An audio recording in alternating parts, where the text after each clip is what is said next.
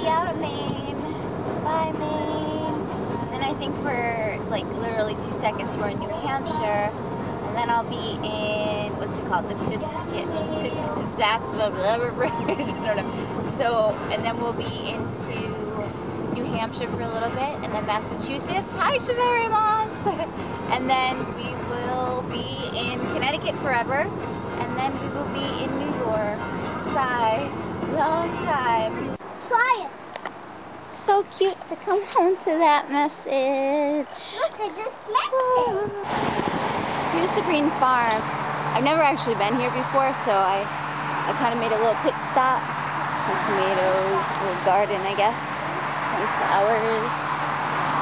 The old tractor. And that's a really old tractor. Look at that one. Arden's gonna start gardening. Oh, there's pumpkins. Look, I found a pumpkin. A pumpkin.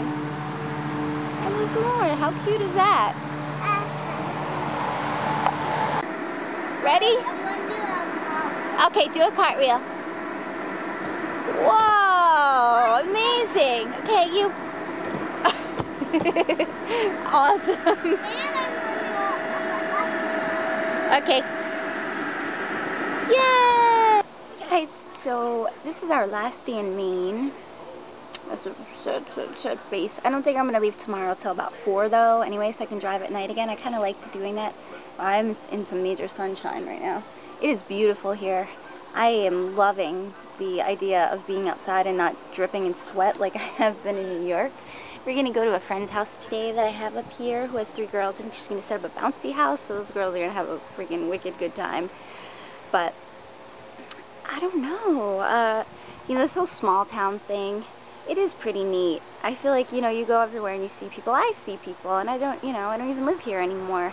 And, you know, if you don't stop and talk, you know that everyone's analyzing one another, and they're going to go home and say, oh, I saw, you know, Leland's girls, or uh, you know, wow, that girl gained some weight, you know, all that stuff.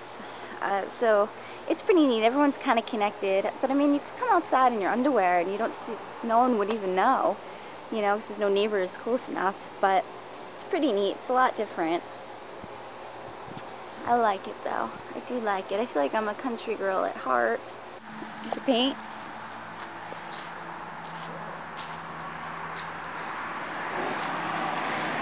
This old truck. Quarters. Yes. that bike. It's awesome. Just do something with it. Why are there so many license plates? Are they killing people? Yes. Travelers? Hey guys, we uh, we're stopping at our first rest stop today. I'm on my way home. I've got 200. I don't think you can. That's crap. Uh, Focus. 288 miles. Four and a half hours left. I think we've been driving for already an hour and a half, or, I don't know. Tired. Got a headache. Um, our car is pretty full. The trunk is just, I had to, fingers crossed, that, you know, actually shut it and got a bunch of snacks in there, some toys, some stuff. I stopped and got my mom a t-shirt from favorite diner up there. We've got a guitar so I can learn to play. Arden's got like a ton of art stuff. She's real pissed off, me tell you. So we're gonna go in here, probably get some Starbucks and something to eat. Miss my baby hated so hard leaving, so hard driving away. Uh, we get to say goodbye to a lot of his family, which was cool, and, you know, the drive's been alright so far, a little bit of traffic, but, yeah, soon I'll be New York, about four and a half hours. Screw you and your damn Easy Pass. They put them in the most convenient lanes, so you're cutting through everyone, trying to get one that actually accepts cash. I mean, who really has an E-ZPass? I, I don't know anyone. I don't. I swear that I don't. And I live on the border of New York City, and I don't know anyone with an Easy Pass. And it just drives me insane. Yell if you do have one. It's just the point. You have one, that's awesome. Arden wants to go to sleep. She's cranky. We have 200 and not that you'll be able to read it, 251 miles now, which is four hours. So it is now almost 8 o'clock, so we kind of wasted a lot of time at the, uh, the thing, uh, the bus stop. Uh, what I was saying before, I don't know if it got me, if it cut off on me, but um, Friday the 13th. So happy Friday the 13th, everyone, and I hope there's no weird, like, stick, twisted little thing about driving long distances and crashes. No. Little blue shed. More old tractors. Wow, look at that one. That's really cool. Very neat. Very cool. So many old tractors. This old Ford. Seriously, why don't I... A four-wheeler. I've wanted to go on one forever. But look at that truck.